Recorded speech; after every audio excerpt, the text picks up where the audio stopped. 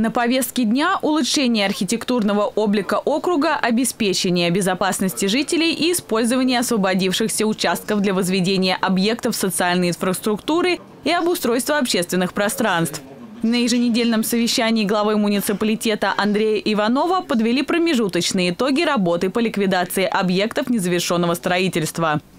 У нас основная задача э, в этой части выполнить э, ту дорожную карту, которую мы подписали вместе с э, правительством.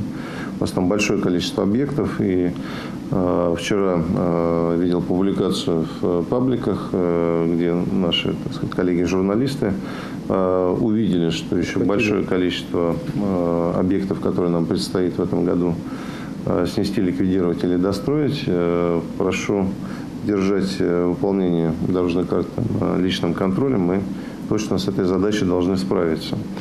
Также вчера губернатор поручил нам э, заниматься объектом Гусарской баллади, о котором вы говорили, и мы с вами тоже должны э, в какие-то ближайшие дни найти все-таки конечное решение и прописать эту дорожную карту, которая должна реализоваться к моменту открытия, собственно, в следующем году школы.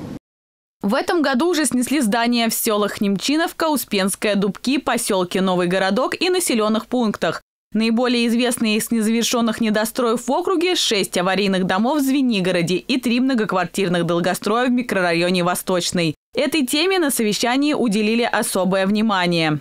Очень важно, чтобы забивка свай была э, строго по технологии, чтобы э, не наносить вред э, домам, которые находятся рядом с объектом строительства.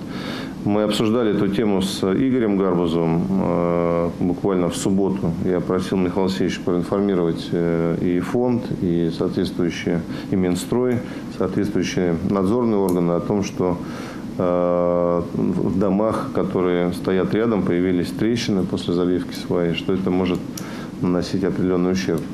За четыре года в округе было снесено 419 объектов незавершенного строительства, и работа в этом направлении продолжается. В текущем году планируется ликвидировать еще 230 зданий, отметил Андрей Иванов. По эффективности устранения недостроев муниципалитет вошел в тройку лидеров по Московской области. Екатерина Крамер, Станислав Трифонов, телекомпания «Одинцова».